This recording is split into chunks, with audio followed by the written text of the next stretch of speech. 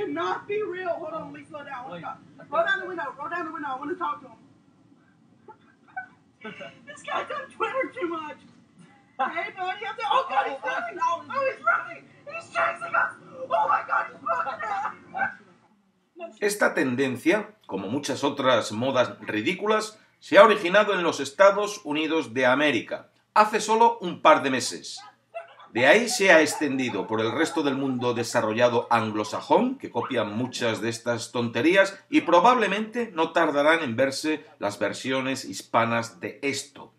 Consiste en lo que veis, disfrazarse de payaso y dedicarse a asustar a la gente. Cuando surgió en el estado de Carolina del Sur, se pensó que era una promoción publicitaria para el lanzamiento de una nueva película de horror titulada 13 que está a punto de aparecer en el mercado y que va sobre un clan de payasos sádicos. Fuese publicidad o no, el caso es que la tontería ha hecho la suficiente gracia a algunos como para perderse en bosques y carreteras vestidos de payasos, a menudo llevando algún instrumento amenazador y abalanzarse sobre la gente con el claro propósito de asustarla. Alguno, por supuesto, el tiro le sale por la culata y el susto o la paliza se lo llevan ellos de vuelta.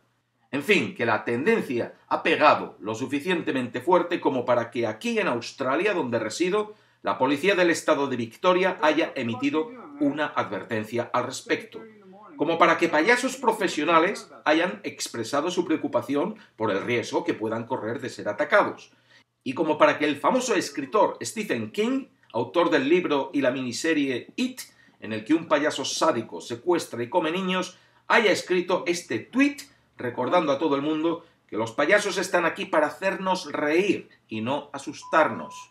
Y eso es todo en este vídeo porque el tema tampoco merece mayor atención. Otra de esas modas que no conducen a más que a que antes o después ocurra una desgracia para alguien.